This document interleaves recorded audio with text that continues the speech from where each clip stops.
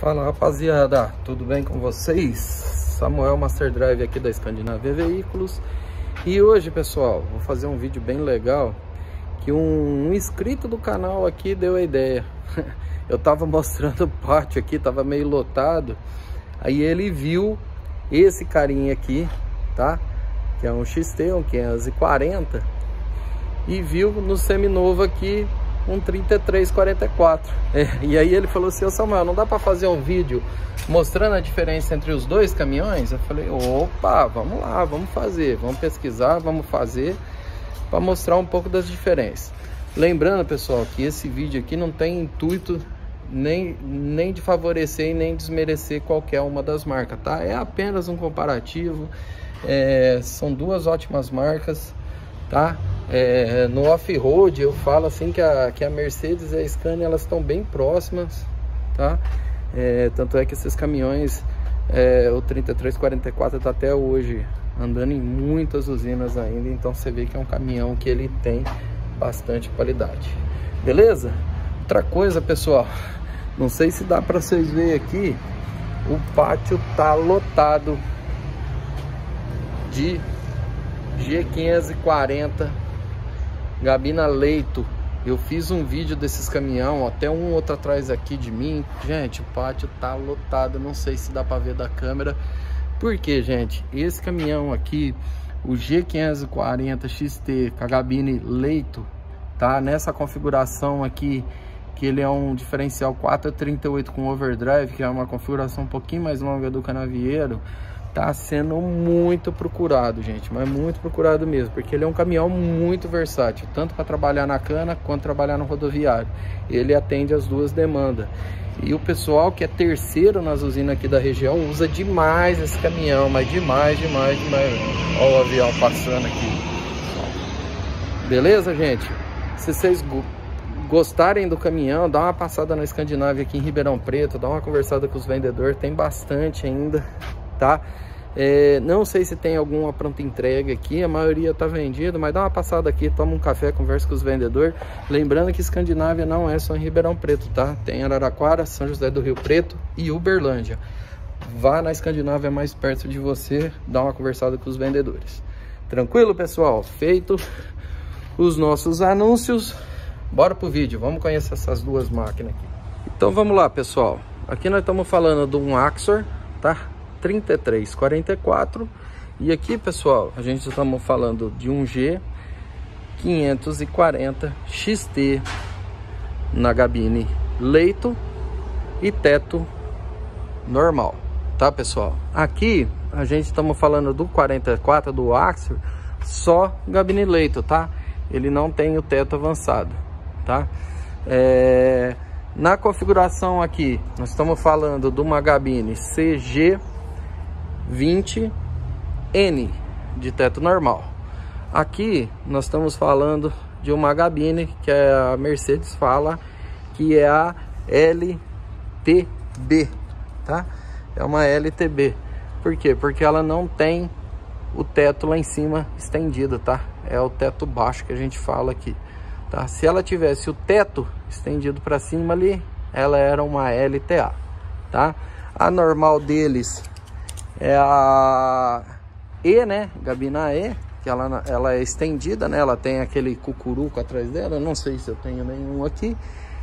E quando não tem nem aquele cucuruco, ela é fechada atrás, é uma gabina C. Beleza, gente? Tranquilo? Então vamos lá. Conhecidas as duas gabinas do caminhões, aparente internamente, o que que muda? Assim, ó, o que vocês podem reparar, gente, Vamos olhar ali pelos retrovisor. Os caminhões praticamente têm a mesma altura de direção, tá? Eles são basicamente a mesma altura, certo? Aqui na frente do Axor, gente, a gente tem um globo ocular de dupla parábola, né? Baixa e alta, com seta, tá? E eu não identifiquei farol de neblina nesse caminhão, porém, ele tem um ataque de ângulo bom também, tá? Bem parecido com o do Scania, com o degrauzinho retrátil para trás também, tá? Ele tem essa barra de proteção embaixo aqui. Já no Scania, a gente estamos falando também de um farol de dupla parábola com lâmpada H7 com DRL no farol, tá? E o farol de neblina que vem no caminhão também. A gente tem um degrau para acesso da frente do caminhão e a gente tem um protetor de cárter metálico aqui, pessoal, tá? Protetor de cárter metálico e o degrau retrátil, igual o Mercedes tem também, tá? Então assim, ó, nessa parte de configuração, ele é bem completo o Mercedão, tá? Ele tem um retrovisor em cima ali também, sabe? O retrovisor dianteiro. Essa versão não pediram com o retrovisor dianteiro, tá? Mas se pedir, vem também, tá? No conjunto ótico dos retrovisores, ambos têm um retrovisor grande e pequeno, convexo para longe, né? E perto. Então, assim, na parte de retrovisor, ele é... Os dois são praticamente idênticos, tá, gente? A única coisa que o Scania ele é um pouco maior é a área vidraçada dianteira, tá? O Scania ele é um pouquinho maior, tá vendo lá, gente? O vidro dele ele é um pouquinho mais alto. Outra coisa que o Scania tem é os farol de longo alcance, né? O Mercedão, infelizmente, não tem. Só tem o grupo ótico aqui embaixo, né? E o neblina, que o Scania tem também. Vê, gente, que as coisas dele são muito parecidas, né? Bem parecida mesmo, tá? É, aqui nós estamos falando de um caminhão 2015 e aqui nós estamos falando de um caminhão 2022. Porém, a especificação técnica desse caminhão eu peguei no site da Mercedes, tá? Então acredito, acredito eu que eu tô pegando a especificação do 2021, não sei se a Mercedes ainda tá com ele no portfólio, mas assim, é, é, acredito que seja bem próximo do que eu tô falando para vocês, tá? Aqui ó, parte de suspensão dianteira, os dois têm uma altura ótima do solo, tá? Os dois trabalham com feixe de mola dianteira, com três molas e o Scania, ele trabalha com quatro molas espaçadas também, tá? Aqui no Scania a gente tem um conjunto de, de valvulamento do ABS e EBS, tá? O Scania também tem um conjunto de mola que é o EBS e o EBD que ele tem também, tá gente? Agora, falando aqui da parte de motorização, né? Aí é onde começa as diferenças do, dos caminhões, tá? Aqui no Mercedes, nós estamos falando de um motor de 440 cavalos, tá? E 2.200 Newton de torque, tá, pessoal? Então ele é 440 cavalos e 2.200 Newton de torque. Motor turbo alimentado, enfim, com intercooler, certo? Aqui, pessoal, no Scania, nós já estamos falando de um motor de 540 cavalos e 2.700 Nm de torque. Então nessa, nessa daí a gente já... É, é, o Scania ele é bem mais forte, né? Não tem nem o que, que comparar, né, gente? Por isso que esse tipo de comparação eu acho até meio injusto, né? Que esse caminhão aqui, o certo era comparar ele com, com, com, com o G450 off-road, né? Que vai ficar muito próximo desse aqui. A gente tem um pouco mais de torque no nosso XT, no 450, que o nosso tem 2.350 N de torque, tá? 150 N a mais que esse caminhão aqui. Beleza?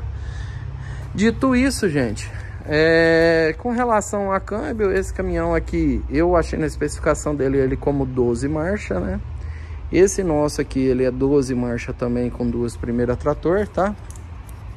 A marcha mais reduzida desse caminhão, nós estamos falando de uma relação 11, 1163 para 1 e o nosso, nós estamos falando de 13.28 para 1, a primeira marcha. Porém, o Mercedão, na marcha final, ele é um pouco mais longo. Nós estamos falando de 0.77 para 1. E o Scania é 0.80. Então, assim, a nossa primeira marcha ela é um pouco mais reduzida e a nossa última marcha, porém, é um pouco mais reduzida também. Aqui no Mercedão nós estamos falando de um caminhão um pouquinho mais longo, tá? É pouca coisa, mas ela é mais longuinho, tá? Para andar.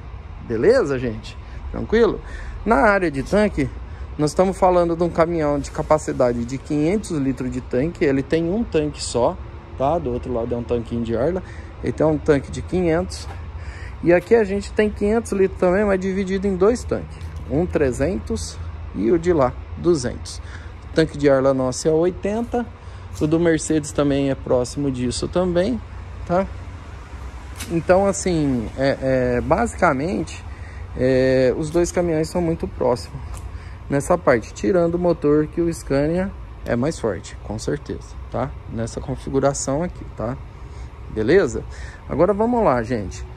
O entre-eixo do Mercedes, o entre-eixo do Mercedes, nós estamos falando de 3,30 metros até o primeiro primeiro eixo de tração, né? 3,30 aqui do primeiro de eixo de tração e daqui para trás, entre os dois eixos de tração, nós estamos falando de 1,35m, tá? No Scania, a gente tem 3 metros e 15 até o primeiro eixo de tração e 1 metro e 45 entre os dois eixos. Então, entre os dois eixos, o Scania é mais longo que o Mercedão aqui tá? Em 10 centímetros o Scania é mais longo. Ah, Samuel, mas isso é, vai, vai beneficiar em quê? Gente, beneficia na capacidade de tração do caminhão é, para não patinar, tá? O Mercedão é um caminhão muito bom, ele não patina, certo? É difícil também, mas o Scania com esse, essa distância um pouco maior, ele pisa melhor no chão, gente. Ele não apoia tudo junto, ele dá essa espaçada. Ele é um caminhão que ele pisa melhor no chão. Beleza, gente? Então essa é a diferença básica aqui do conjunto de tração, tá? É, eu não achei a parte de diferencial dele, tá? Então eu não sei qual relação que ele usa. O, esse caminhão aqui, o Scania tá com 438, tá? Redução no cubo 421 tá? Parte de quinta roda dos dois são bem robustas duas, parece ser Just também, né? A Scania usa Just. Então, assim, com relação a isso, sem novidade, é tudo a mesma coisa, certo? É, aqui atrás, gente, eu não sei se o se a Mercedes mudou o lanternamento dos novos já são a LED. Esse que tá aqui ainda é lâmpada halógena também, tá? mas na parte de configuração de chassis os dois são praticamente iguais, tá gente? O sistema de, de aspiração de motor, esse caminhão aqui, ó, é, ele é um, um caminhão off-road, o Mercedes, porém ele não tem aquela aspiração lá. Eu não sei se é comum, tá vendo lá, gente? Aquele lá é um Mercedão com a gabina I, né? Ele tem aspiração lateral com filtro só. E eu não sei o porquê esses não vêm. Não sei se o estendido não vem, tá? É, mas ele não tem. O dele é interno lá de baixo lá. Tá? Igual o nosso rodoviário. Já no Scania, a gente tem o duplo filtro de ar. Um sistema muito bom, gente. Que olha, questão de purificação de ar desse caminhão para motor é fantástico. Beleza, pessoal? Visto as diferenças externas do caminhão, tá? Ah, uma coisa importante que eu esqueci de dizer para vocês. Todo XT ele vem com agora, né? Toda a linha 2000 vem com retarder, tá? Só se o cliente não quiser. E o, o Mercedes ele vem com top brake, tá? Esse caminhão ele vem com o EBS, o EBD e o ACR, né? Que é o controle de, de aderência e aceleração, o Mercedão. E o Scania ele vem com o ABS, o EBS e o controle de tração, tá? Ambos bem parecidas configurações nesse, nesse trâmite, porém é, o Mercedão ele usa o top brake como freio motor, né? Que seria o freio motor. Já o Scania, além de ter o freio motor, ele tem um retarder de 4.100 Newton de força de frenagem. Então nós estamos falando aí de 2.700 N de tração e 4.100 N de frenagem. Pra vocês terem uma ideia a força que tem esse retardo para segurar esse caminhão.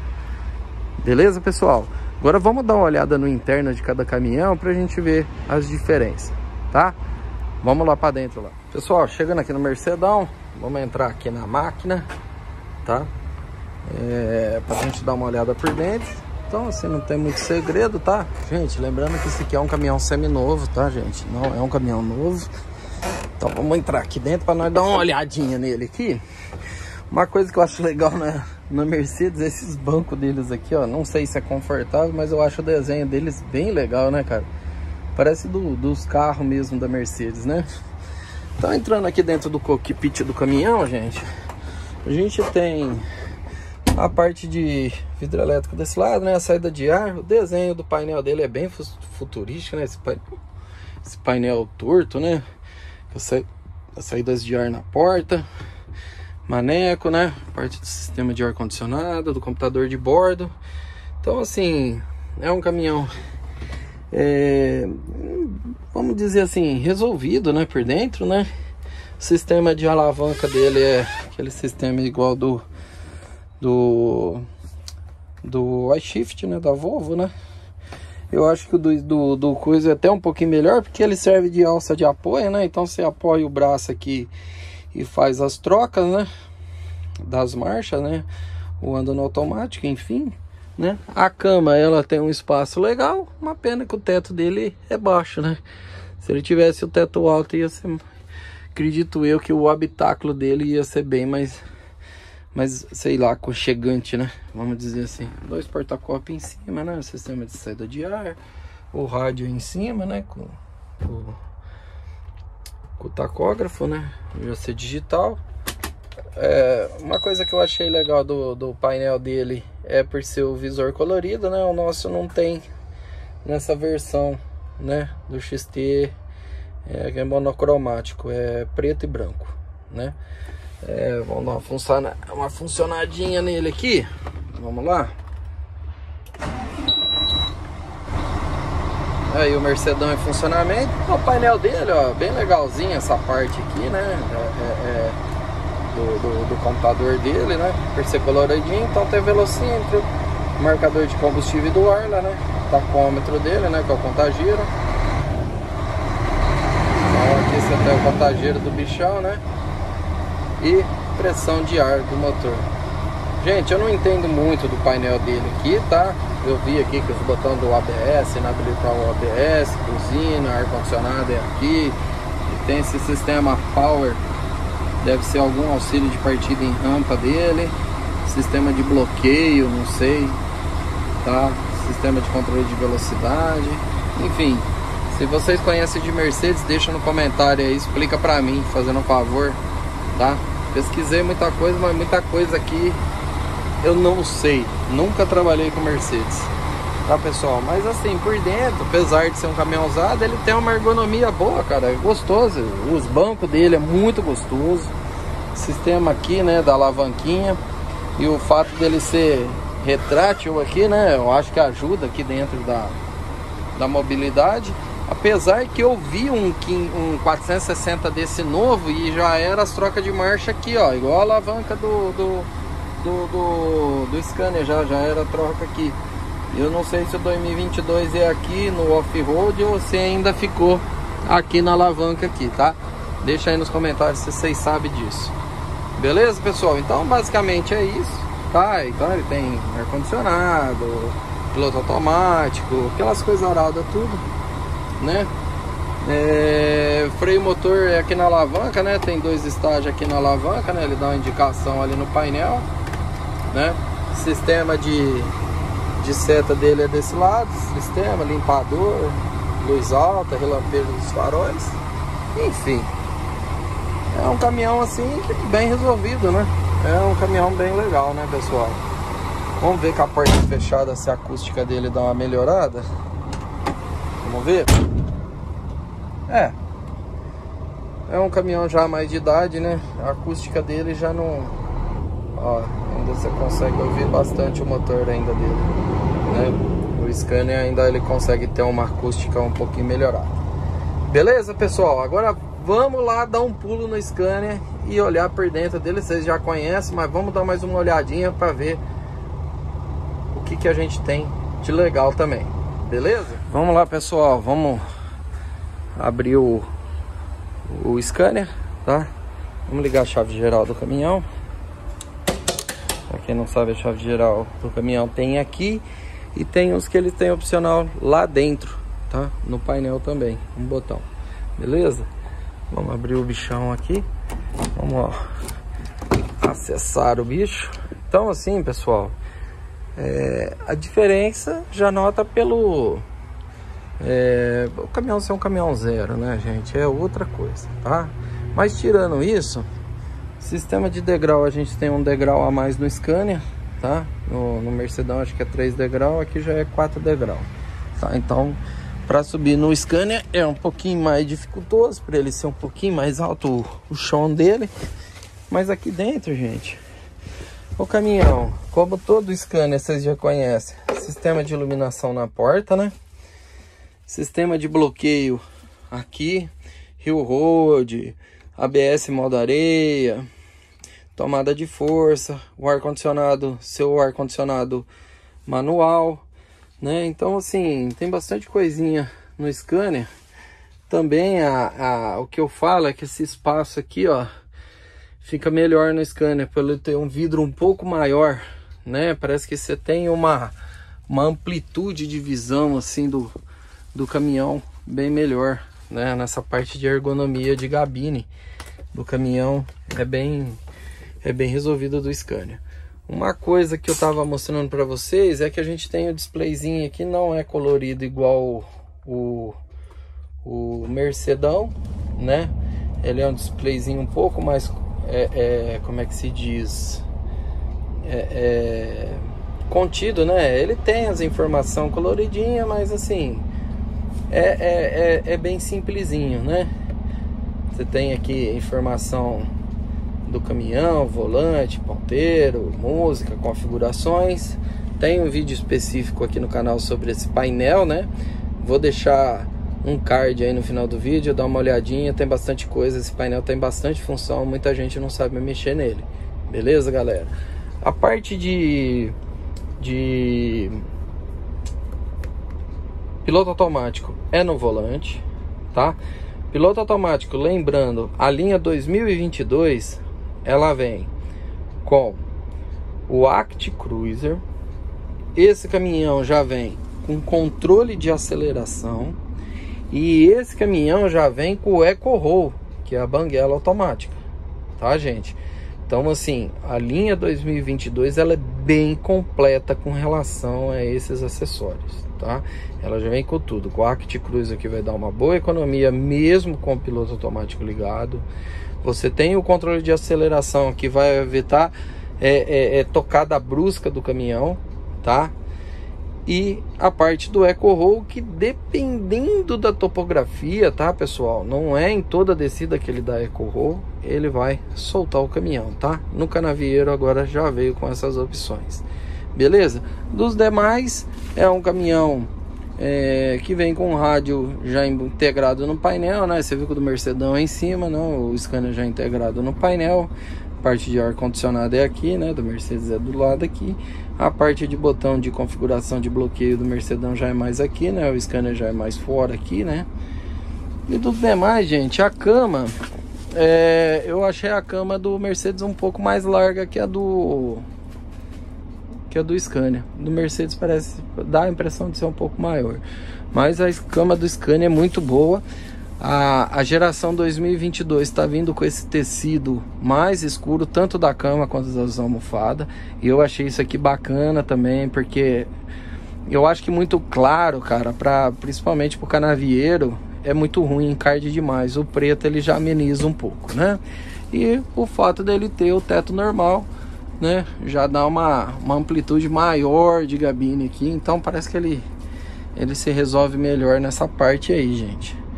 Mas do resto, gente, é um caminhão é, tá um pouco mais à frente, né? Devido ao ano do caminhão, né? Esse é um caminhão mais avançado, tá?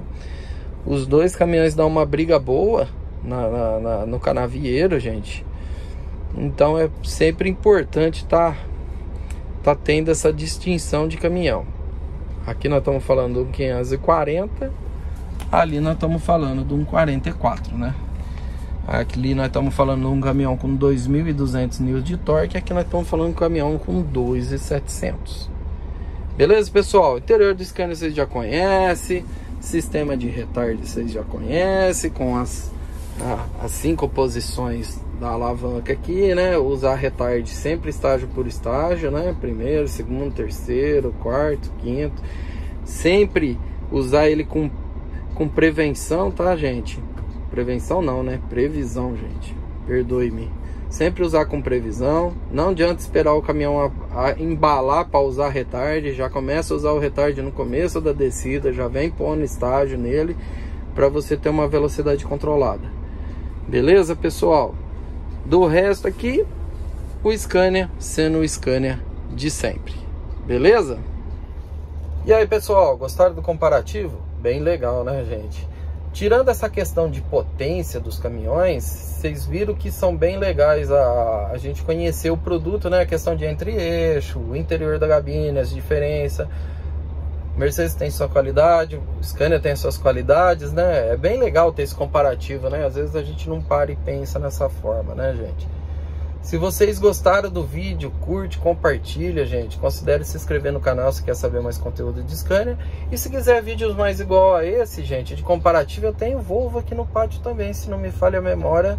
É, não é o FMX, mas é aquele meio misto, né? Ele é rodoviário e fora de estrada eu dou um jeito de fazer um comparativo dos dois, tá?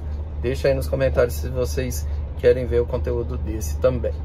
Beleza, pessoal? Fica com Deus e até um próximo vídeo.